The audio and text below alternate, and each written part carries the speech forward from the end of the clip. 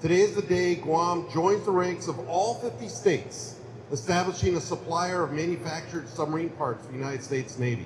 3D printed Navy submarine parts could be made right here in Guam as soon as the end of next year. This, according to Neal Orringer, president of ASTRO America.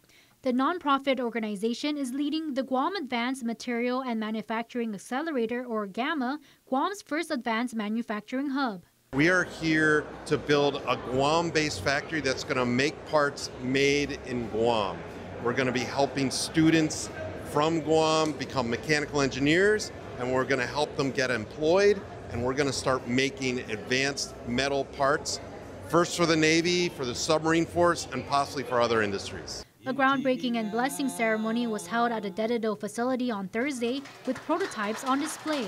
It's a collaboration between the government of Guam and the U.S. Navy, five years in the making, that's expected to strengthen both military defense and Guam's economy. Governor Lou Leon Guerrero says the new industry will create jobs, train students, and streamline the supply chain. From training to production to sustainment to continued on to the future and to even go outside the fence to provide parts for cars. How many times do our ambulances go down and we can't get the parts quick enough for those ambulances to get back on the streets? It's going to be a key player for many, many of our production and materials that we need.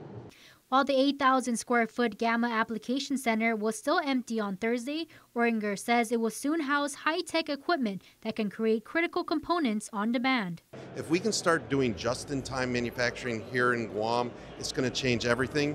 And as we start having some successes with the Navy, we're going to move to other industries as well. That's why Guam, because Guam is ready for this. We have incredible people here. We have really determined and intelligent students, and we're ready to move to the next stage. The project is currently in phase one. He says construction will continue through early 2026 with phase operations beginning soon after. Matsuki Hirayama, KUAM News.